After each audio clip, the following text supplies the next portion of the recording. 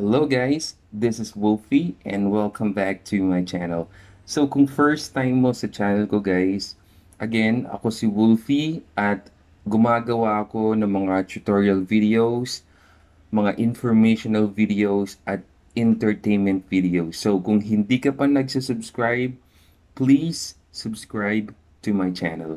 So, ngayong araw na to guys, ito na nga ang inaabangan natin sa DepEd. So, nasa DepEd Philippines Facebook page tayo ngayon guys.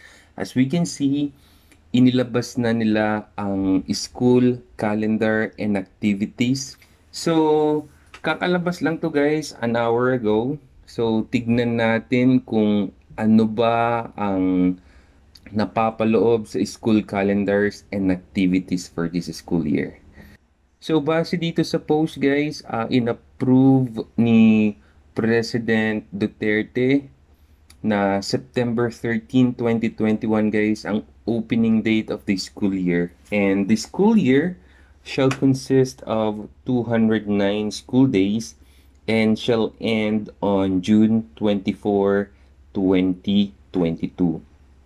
So sabi dito guys, the conduct of face-to-face classes, whether partial or full scale, will not be allowed unless permitted by the Office of the President.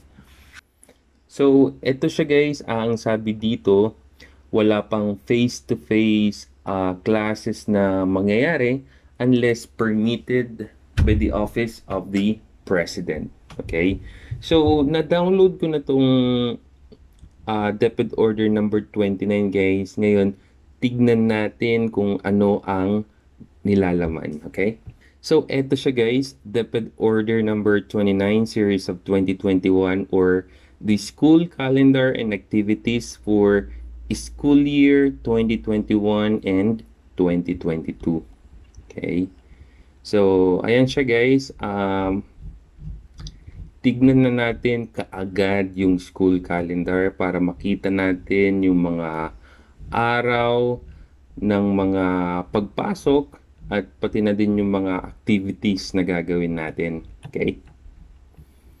So, ito siya guys. Ito yung monthly school calendar of activities for school year 2021 and 2022. So, sabi dito guys, sa August 13, yan yung start of enrollment at yung Brigada Eskwela natin guys at Oplan Balik Eskwela ay mangyayari sa August 3 which was 2 days ago until August uh, 31. So may dalawang holidays tayo guys, August 21 at August 30 which is Ninoy Aquino Day at National Heroes Day. Okay? So, nakalagay din dito sa September guys, ayan, September 1 through 30, Brigada Eskwela ulit and Oplan Balik Eskwela. So, continuation lang siya guys ng month of August.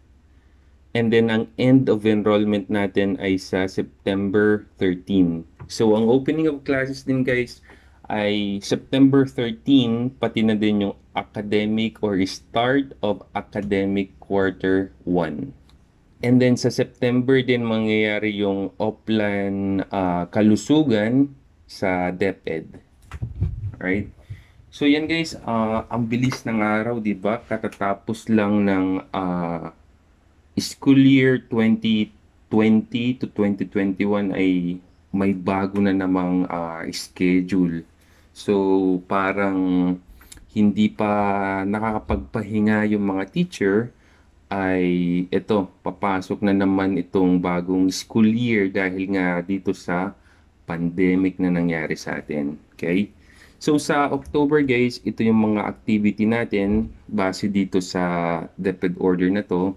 So sa October 5, yan yung World Teachers Day. So alam nyo naman guys kapag World Teachers Day ay may nakukuha din ng maliit na allowance ang mga teacher So, last year, 1,000 pesos siya, okay?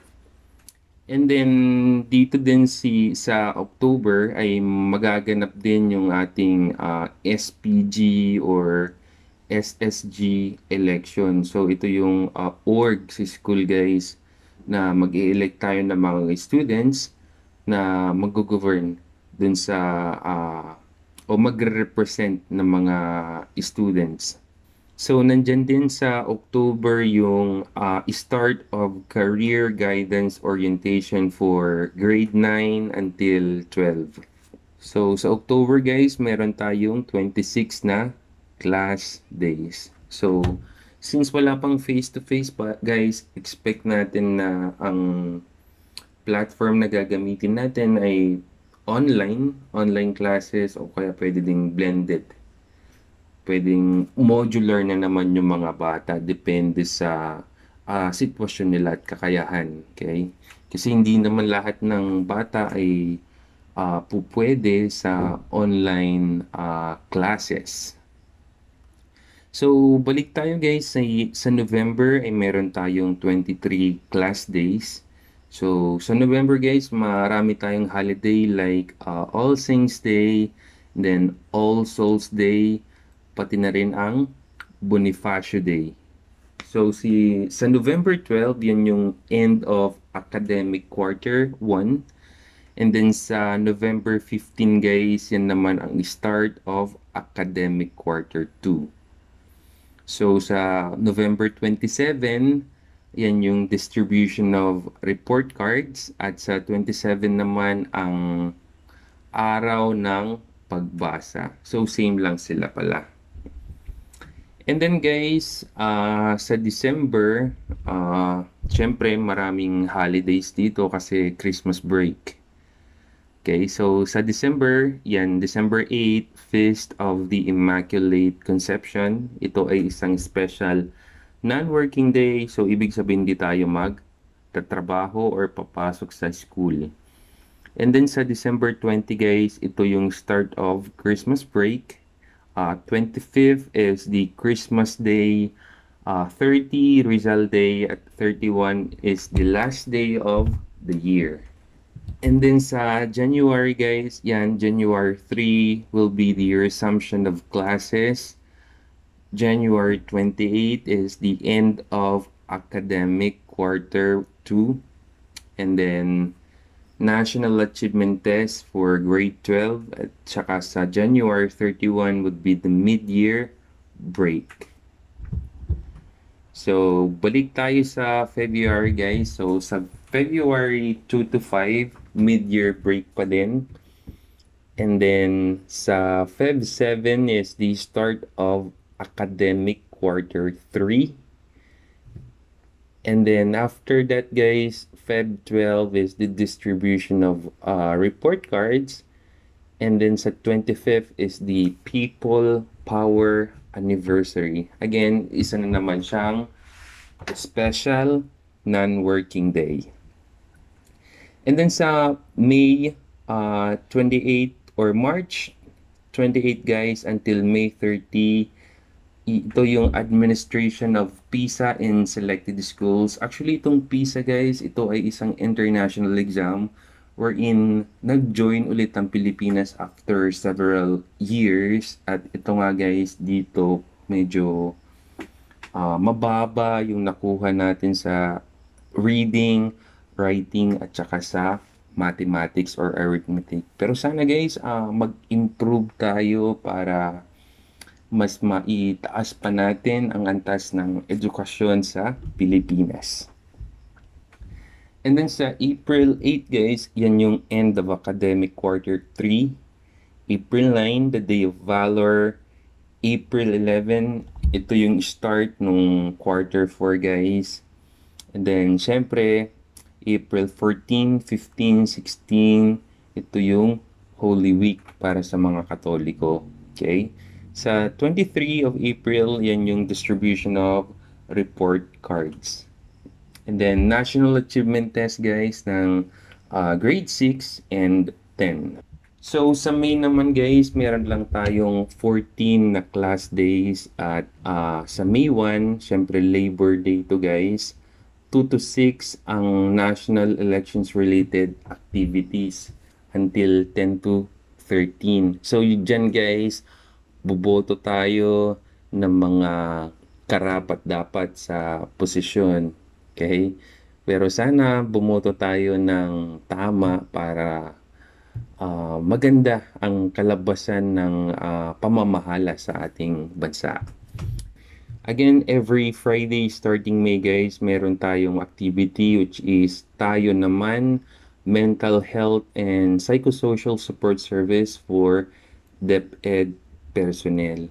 So yeah, kailangan natin to guys since pandemic ngayon, tsaka ang dami talagang paper work sa trabaho, marami talagang commitment at marami parang hindi nauubos ang trabaho sa DepEd. Pero okay lang yan guys. Nakakaraos naman tayo sa mga paperwork at nakakaya naman natin, right? Yun nga lang, kailangan din natin ng ah, pahinga at kailangan din natin maging aware sa ating mental health kasi importante yan guys. Kailangan nating mabalance ang work and life natin at ah, maging mentally stable tayo. Again, ah, June, sa June guys, meron tayong 21 ah, class days. May mga holiday din tayo like ah, June 12, Independence Day. And then sa June 23 guys, yan yung DepEd ah, founding anniversary. At sa June 24, ito yung end of academic quarter 4 in school year. So, ang end of school year rights guys ay sa July 27 or July 2. Medyo nagkamali lang sila dito. So July 1 to 2 guys, yan yung end of school year rights. Sa July 4, yan yung start of remedial or advance, advancement classes. And then sa August 12 y- guys, yan yung end of remedial or advance, advancement classes during summer. So, yan lang siya guys. Meron din tayong mga activities dito pero importante na nalaman natin ang school calendar days. Okay? So, kung gusto nyong i-download ito guys, ilalagay ko ito sa description para at least meron kayong copy, soft copy at mai-print nyo ito. Okay? Maganda ring may copy tayo nito guys para alam natin ang ating ginagawa at nababalanse natin at napaplano natin ang ating mga ah, gawain. So, yan lamang for today guys. I hope na katulong ako sa inyo. At sana ah, don't forget to subscribe on my channel kasi marami pa tayong videos na i-upload. Again, my name is Wolfie and thank you so much.